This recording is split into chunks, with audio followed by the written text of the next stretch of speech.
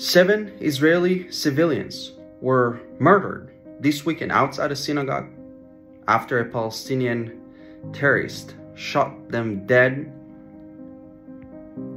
And what did the Palestinian people do? Did they condemn it? Heck no. They went on the streets shooting fireworks, handing out candies, dancing. These are our peace partners. They don't want peace with Israel. They don't want peace with the Jewish people. They don't want to see us living next to them. They want a state on top of Israel instead of Israel. Let the world know these are their true colors.